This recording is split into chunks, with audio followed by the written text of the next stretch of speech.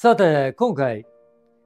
我々心理カウンセラーが、皆さんの身近な人がすごく、まあ、悩みを抱えているっていうことを小耳に挟んだときに、皆さんはどんな対応を、またどんなアクションをするかで、皆さんの心の動きがすごくわかりますよっていうことと、またそのやり方以下では皆さんがその困った人に対してさらにストレスを与えてしまう可能性があるかもしれないというお話をしたいと思うんですね。皆さんどうでしょう？皆さんの身近な人が失恋した、ね、もしくは離婚してしまった、なんか悩んでるみたいとか、えー、もしくは皆さんの身近な人のご子息が不登校である。もしくは何かの事件や事故に巻き込まれた。もしくは大事な家族を亡くされた人がいる。そういう話を皆さん聞いたときに、皆さんはどうされますかっていうことなんですね。で、僕は基本的には、何とかしてあげたいっていう気持ちはすごく大きいんですけれども、なるべく、まあ、あの、距離を置くっていうことをすごく大切にしてるんですね。というのが僕がそうですね。自分の母親、まあ、義理の母なんですが、育ての母が、あの、自分で命を絶った時に、やっぱりご近所の人たちは、かわいそうにとか、大変よねとか、大丈夫っていう形ですごくね、あの、声をかけてくれました。その当時。で、一生懸命こうお話をして、ね、何かあったら、あの、私がしてあげるからねってうん、そういう人もいっぱいいてくれてありがたいんです。本当にありがたいんです。ただ、その後、その人たちが井戸端会でケラケラっと笑って、まあ、ご近所の話やご主人の話や子供の話をかわいそうにっていう話をまあご近所で話をした後にそういう同系列で話してさあご飯食べるよって言ってそれぞれの家に帰っていく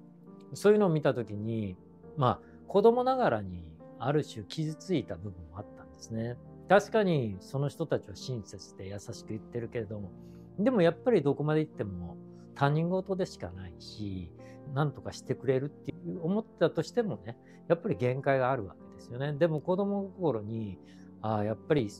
ね、何かそう相談した時に、すごく同情で来てくれるんだけど、そのご近所の人たちがその後をケラケラ笑っている姿を見た時にずっとこっちは悩んでるわけですよね。すごく落ち込んでる。そのギャップとかご近所の家でこう笑い声が聞こえてくると逆に気付いたっていう経験があるんですね。でうちの子供が小さい時に小児がんの、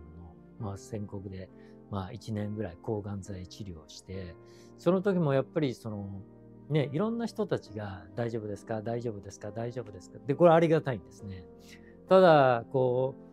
う、悩んでる人とか今問題を抱えてる人って、その時はやっぱり一生懸命聞いてもらって嬉しいんですけど、その後のギャップってすごく意外と大きくて、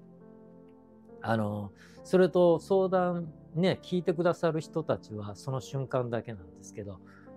我々はあの毎回同じ話をするんですね。病状だとか、今こういう状況ですとか、うん、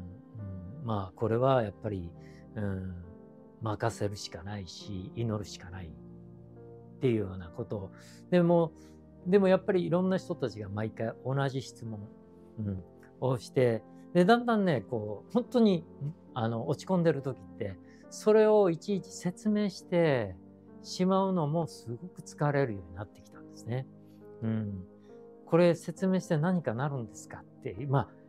変な、あの、ちょっと嫌な気持ちですよね。うん。向こうはわかるんですよ。すごく親切心でやってきてる。その時に一番ありがたかった方が一人おられたんですね。その方は、こう、遠くから、うん、こう、いつも見てくださってて、つかつかって寄ってこられて、江戸さんって、あの、いろいろ、うん、聞いています。で、本当に大変だと思います。何かあったら声かけてください。何でもしますから。って言ってもらった人が、実は振り返ってみると一番あったかかったなって。矢継ぎ早に何か記者みたいにどうしたんですか？どうな状況ですかってもちろんこう助けたいと思うから病状とか聞いてくるけど興味本位もありますよね。いろいろ知りたい。でもその方はそういうことも一切なくいろいろあるでしょうけど何かあったら声かけてください。それから僕はその人がありがたかったなっていう記憶があるんで何かあったらサポートしますからね最大限。大変でしょうけど。このサポートっていうのは何でもいいんです。例えばその人の代わりに、えー、何か手続きに行くとか車で送り迎えをしてあげるとか留守番をするとか、ね、何でもいいんですね。そういうこう何かあった時に子供の面倒見ますよねとかそういうのって実はすごくありがたかってでやつい前にその聞きたいことを聞いてくるんじゃなくてもちろんなんとなく喋りたい時に、うん、なんかこう興味で聞いてくる人とうん、こっちで話すことをただそうなんですねっていうことであのまあ辛いんだろうなっていう状況だけ聞いてそれ以上根掘り葉掘りあの聞かないそういう姿勢ってすごくね、うん、大事だなと思ったんですね。カール・ロジャーズって博士は、まあ、悩みというのは人生の宿題だよと。うん、僕たちは教わりました。悩んでる時が一番成長する。確かに僕はその子供の時のその小さかった母が亡くなったことで心理カウンセラーになったし、中にはね、えー、すごく飛行まで走った若者が自分は何やってんだろうと思って、そっから子供の時はお父さんが医者やってたんで、医者になろうと思って勉強して、非行少年からお医者さんになって地域活動の医療に本当に奔走してあの人がって言われるぐらい変化した人もいますよね。の中には暴走族だ、えー、ちょっと危ない反射みたいな時期があった人が牧師さんになって人を救っているっていう牧師さんもおられますね。うん、あのタトゥー入ってるんですよね。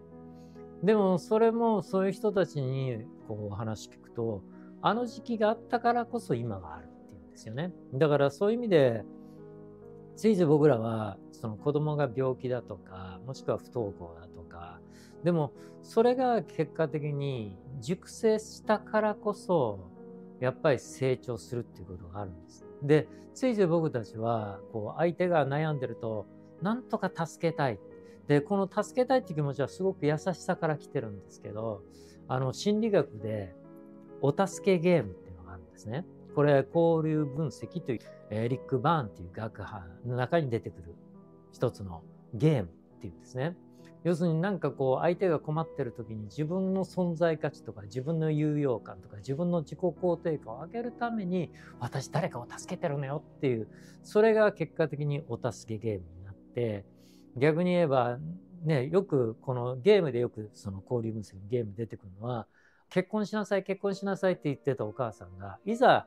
娘さんが結婚が決まると文句をつけたり、うん、あの人はこういうとこああいうとこあるっていうこうある種高い望みを言ってあの人こういうとこあるわよねああいうとこあるわよねって言われるとやっぱりだんだん本人もこうそうなのかと。特にお母さんに対して信頼関係を置いてる娘さんほどそうするとまあ破綻してしまうこともありますよね。完璧を求めるがあまり。そうすると、不思議なことに、がぜん元気になっちゃうお母さんに、まあ、あなたはね、もっといい人がいるが、私が探すからって言って、なんかこう、幸せになってね、相手を見つけてね、結婚してねって言いながら、いざそれがまとまり始めると、なんか文句を言う。でも、それが壊れると、がぜん元気になっちゃう。これを、まあ、交流分析のエリック・バーン博士は、お助けゲームって言ったんですね。要するに、自分がいないとこの子はダメなの。私がいるからこそこの子は成り立ってるっていう、そういうことで自分の存在、価値を感じる。もしくはね、あの、病的な分野で言うと、代理ミューフィハンゼン症候群っていうのがあるあるんですね。あの、まあ、事故とか事件にもよくなるんですけども、子供が病気になったことで、まあ、悲劇のお母さん。で、一生懸命看病してることで、自分がすごい大変ですよね。すごいですねって言われることで、あのその人の中の存在価値っていうのは見えてだからそこの家庭の子供はしょっちゅう入院してくると。でなんか元気になったらまた入院してくる調べてみるとこのダイヒリ・ミューハンセン症候群っていう一つの、まあ、お母さんの中に子供を病気にすることで自分があの周りから注目を集めるそうすると子どもの点滴に入れてはいけないような薬品を入れてしまって子どもの体調を悪くしてそれで死に至ることも過去いろんなあ事件で起こってるんですね。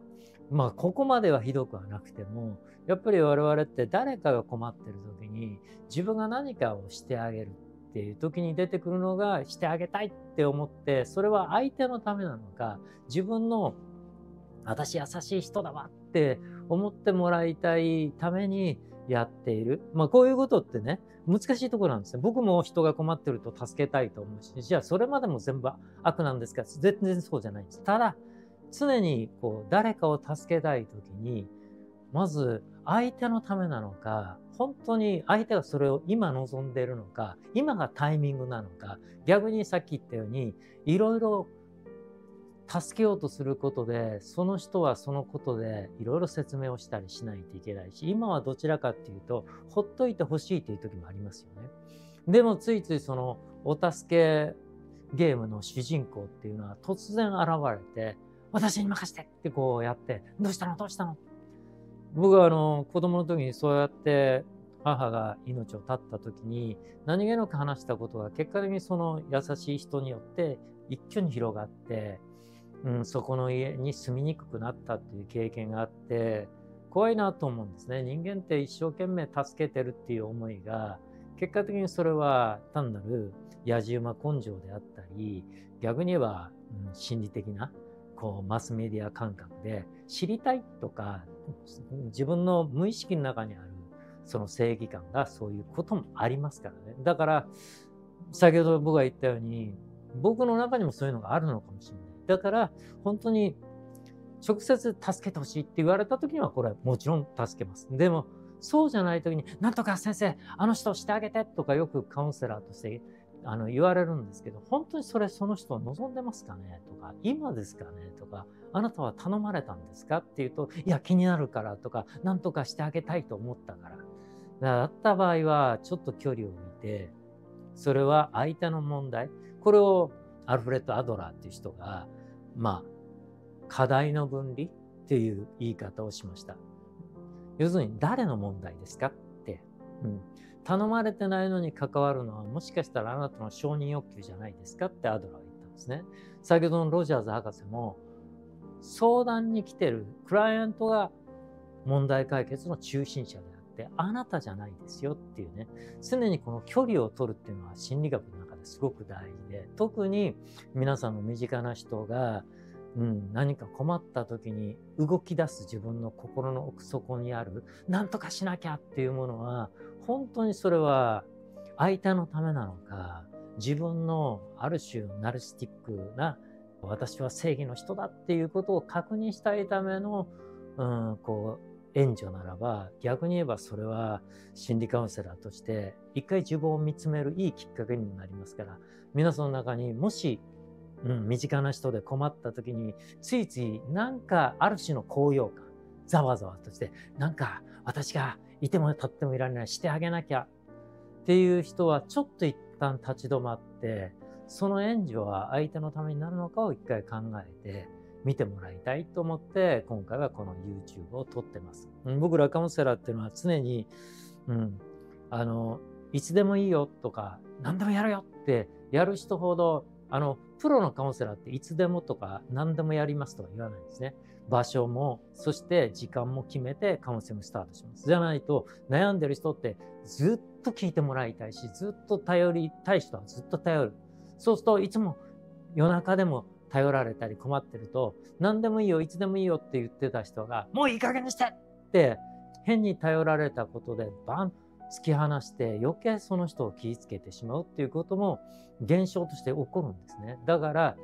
その時にいつも問われるのはあなたが人を助けようと思った時にそれは本当にその人のためだったのかためだったらうん、いつでもとかどこでもとか言わないはずなんですね。できないことまでは僕らはね、できるかできないかきちっと分けないとプロフェッショナルじゃないって言われてるんです。ですから何でもやるよ、いつでもやるよって言って本当にいつでも夜中でも朝でもしょっちゅう毎日連絡が来てそしてもういい加減にしてって気ぃつけるぐらいなら